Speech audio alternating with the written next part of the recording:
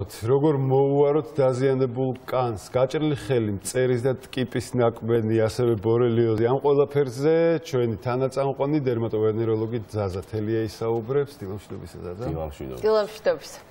ზაზა, მოდი პირველ რიგში დავიწყოთ გაჭრილი აი ხშირად ხელი გვეჭრება, ასევე ბავშვები იქცევიან ხოლმე ზაფხულში, შეიძლება იდაყვი მუხლები გადაიყლიფონ თუ რა ქვია. როგორ ჩაულებრივი ამბავია, ხო? როგორ მოუაროთ ამას? აი პირველად რას ვაკეთებთ? სპირტის დასხმა იციან და ჭრილობაზე ძალიან წარიათ. ზედაპირულ ჭრილობას ეძახიან, ზედაპირული ჭრილობა, როდესაც კანი ზიანდება. არ არის ღრმა. ამ შემთხვევაში ნუ მიდგომა არის მარტივი უნდა მოხდეს ან გამდინარე წყლით გამდინარე სუფთა წყლით ჭრილობის ამას ასე ჩვეულებრივად ეძახიან გარეცხვა ანუ ჭრილობის გარეცხვა უნდა მოხდეს. თუ ანტისეპტიკური საშუალება არ გვაქვს შესაძლებელია ამ ადგილის ჩვეულებრივი საპნით დაბანაც ანუ საპნის გამოყენებაც შეიძლება და ამ გარეცხვის შემდგომ უკვე უნდა მოხდეს მისი დამუშავება. შეიძლება ჩვენ ეს ადგილი ბინტის გამოყენებით შეუხვიოთ დაზიანებულ ადამიანს შესაძლებელია გამოვიყენოთ ბეტადინი, ანუ იგივე იოდი. ანუ იოდის ანტისეპტიკური საშუალებაა წვის საშუალებას არ აძლევს, ანუ წვის შეგრძნება არ ექნება ადამიანს და აი ხშირად არის ხოლმე რა რა რა რა არ უნდა გავაკეთოთ ამ შემთხვევაში. და ასევე აი მაგალითად აი არის არასწორი. აი ხშირია ძალიან ბრილიანტის მწვანეს გამოყენება, ეგრეთ წოდებული იგივე ზილიონკის გამოყენება, ხო. ზილიონკის გამოყენება ზოგადად კანზე რეკომენდებული არ არის. არც არც ერთ შემთხვევაში რეკომენდებული არ არის, მათ შორის არც არც ნაკბენი შემთხვევაში, ხო, წერის ნაკბენი შემთხვევაში. ну ეს არის ეს არის როგორც წესი ეს არის საბჭოთა მედიცინის საბჭოთა მედიცინაში ცნობილი და პოპულარული საშუალება რომელსაც იყენებდნენ რატომ არ არის მისი გამოყენება სწორი? პირველ შემთხვევაში პირველ რიგში იმის გამო არ არის რეკომენდებული რომ ის აშრობს კანს ანუ გამოშრობის ეფექტი აქვს. ჩვენ კიდე პირიქით დატენიანება გვჭირდება აი ჭრილობის შემთხვევაშიც.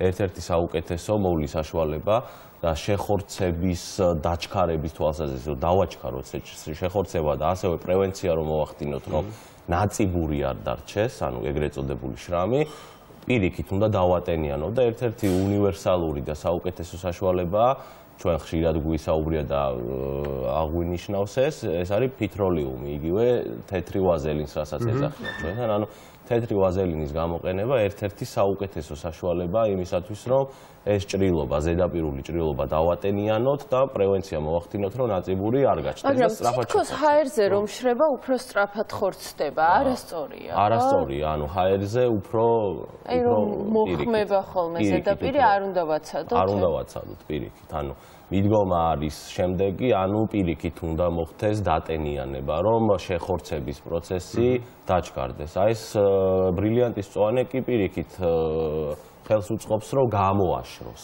ეს წვავდა როგორც ნუ რა თქმა უნდა. ეს ერთი ფაქტორია. ახლა მეორე ფაქტორი აი ნაკბენებთან დაკავშირებითაც, ხომ?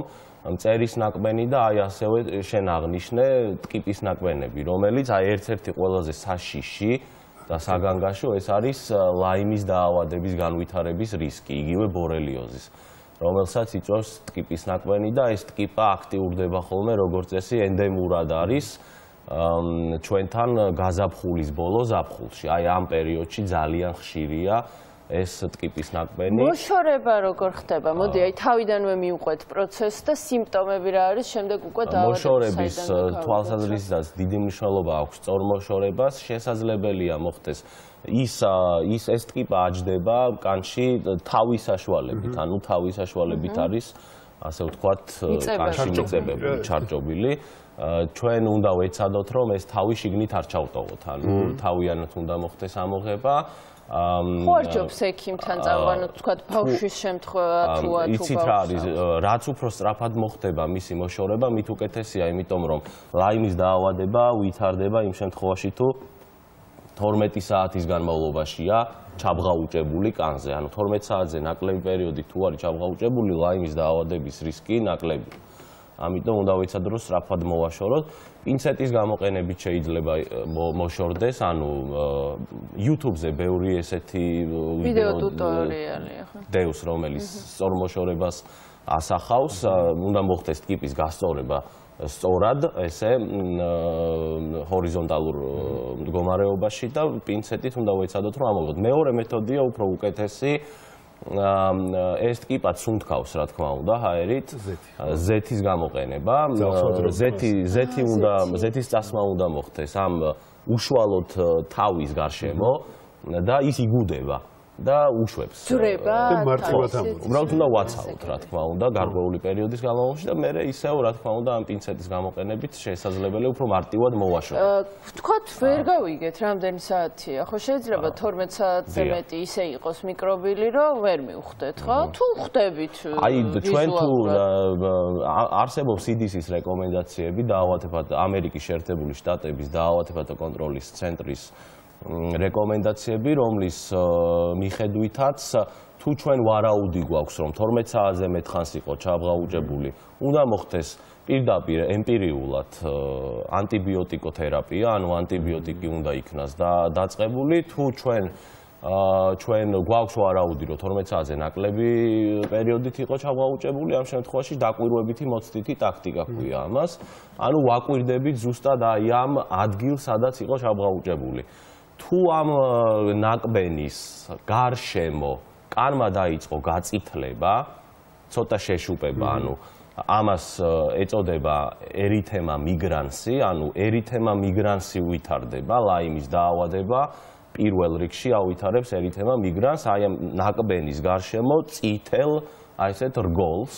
ანუ უკვე უნდა მიმართოთ აი ეს უკვე ნიშნავს რომ ერითემა მიგრანსი, ანუ ლაიმია დაწყებული და სასწრაფოდ უნდა მოხდეს ანტიბიოტიკის დანიშნა და აი ზუსტად მივედი იმამდე თუ რატომ არ უნდა გამოვყენოთ ბრილიანტის წვანე.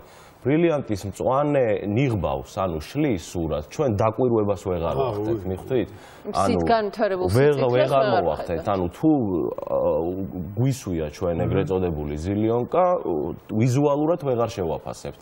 ასევე ამ წერის ნაკბენების შემთხვევაში და პოგოს პოგოს ნაკბენის შემთხვევაშიც ზილიონკის გამოყენება არ არის რეკომენდებული, იმიტომ რომ ნებისმიერი წერის ნაკბენის შემდგომ რისკი არსებობს ინფექციის განვითარების, არა ლაიმის, რა თქმა უნდა, მაგრამ სხვა ინფექციების, სხვადასხვა ინფექციები, იმიტომ რომ კანზე ზოგადად ესეთი ფლორა არის, ყველას აქვს. და როგორ მოვუაროთ თუ არა ბრილიანტი? აა ჩვენ უნდა გამოვიყენოთ, უნდა შევზღუდოთ ქავილი, იმიტომ რომ თუ ქავილია ნაკბენის შემდგომ და ბუნებრივია რომ ქავილი იქნება, ქავილით ჩვენ კიდევ უფრო მეტად ვაღიზიანებთ კანს და აი ამ ინფექციის შეჭრის ალბათობა გამოწვეული სტაფილოკოკით ან სტრეპტოკოკით ან სოკოვანი აგენტებით არის მაღალი. ამიტომ ქავილი უნდა ქავილი უნდა შევზღუდოთ გარეგანი გამოყენების ადგილობრივი ჰორმონალური სტეროიდული მალამოების საშუალებით. ანუ მალამოების გამოყენება მოკლე კურსით 5-7 დღის განმავლობაში ჩვეულებრივად შესაძლებელია, რაც ქავილს